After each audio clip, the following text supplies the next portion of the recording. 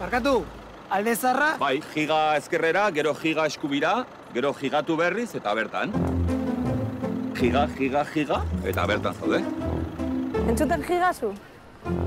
Ni lorate gigabidean. Imaginatzen, gigaragarria da. Nola kafete gigan. Gigatu zaitez nitaz.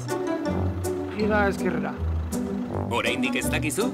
Gabon hauetan giga mugagabea kopari Euskal Teleko bezero izateagatik. Jesus, ma giga eta Jose.